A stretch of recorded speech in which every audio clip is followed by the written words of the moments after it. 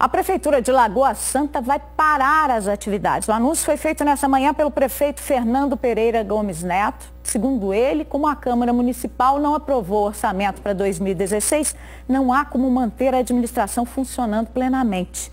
O prefeito do PSB acusa os vereadores de perseguição política para impedir que ele se candidate à reeleição neste ano. Fernando Gomes Neto chegou a ser cassado pela Câmara seis meses depois da posse em 2013, acusado de superfaturamento em contratação para coleta de lixo mas voltou ao cargo com uma decisão em favor dele no Tribunal de Justiça.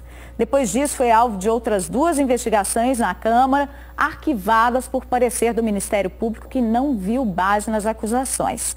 A Câmara Municipal de Lagoa Santa se reúne agora a partir de uma hora da tarde.